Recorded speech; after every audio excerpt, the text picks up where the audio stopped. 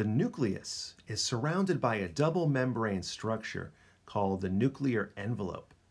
The envelope is embedded with protein complexes called nuclear pores, which are openings that regulate the chemical traffic between the cytoplasm and the fluid within the nucleus, the nucleoplasm. Inside the nucleus are structures called nucleoli. If you're talking about one of them, it's referred to as a nucleolus. Now be careful not to get mixed up between these nuclei terms, nucleus, the nucleoli, and nucleolus. There are often several nucleoli, granular structures made of protein and RNA in the nucleus. Their main function is to produce the small and large subunits of the ribosomes, which we've learned are the sites of protein synthesis. The nucleus functions in the storage and protection of DNA, deoxyribonucleic acid. DNA comes in two forms, chromatin and chromosomes. Chromatin, as shown here, is the more diffuse, unorganized DNA that takes the form of tiny threads that fill up the nucleus. Chromatin is present in cells that are not dividing, cells in the interphase period of the cell cycle where they are preparing to divide. Cells in interphase are busy copying organelles, synthesizing new DNA, copying enzymes, and carrying out lots of protein synthesis in preparation for the steps of mitosis or meiosis, the two major forms of cell division. Chromatin is unorganized DNA, found as loose threads that are spread out or diffuse within the nucleus. When the cell is dividing early in mitosis, during a stage called prophase, chromatin is condensing into organized rod-shaped structures called chromosomes.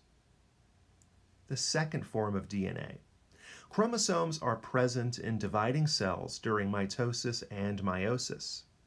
Chromosome means colored body and are so named because they take on a lot of dark stain in microscope preparations, which makes them easy to see. Chromosomes must be replicated or copied so they can be passed on to new cells. Here is the original parent chromosome attached to its copy at a constriction point called the centromere. Each pair of chromosomes is referred to as sister chromatids and are tied together as they move through the stages of cell division. Chromosomes are organized DNA, where specific genes can be located on each chromosome body. The location of each gene on a chromosome is called a locus. The plural is loci a gene contains specific instructions for the synthesis of a protein, which directs the correct amino acids, the building blocks of proteins, into their proper order to make a specific protein molecule. After the cell completes its division, the chromosomes unravel and return back into chromatin. Chromatin twists and folds into chromosomes during a process called DNA condensation the DNA molecule condenses and gets tightly wound around itself. Here is the DNA double helix that is going to unite with these specialized protein binding sites called histones.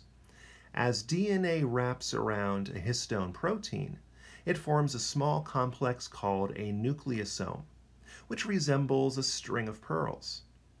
This collection of histones and DNA is what forms the basic structure of chromatin. The chromatin fiber gets thicker and denser as the nucleosomes combine with each other and begin to spiral, fold, and loop directly into the larger bodies of the chromosomes. Here is a chromosome with two sister chromatids bound at their centromere. This union helps ensure that the original parent DNA and its copy will move together during the early stages of cell division, prophase and metaphase, until they are finally pulled apart and separated during a later stage called anaphase. This helps ensure that each of the two daughter cells will inherit the same chromosome with the same number and types of genes.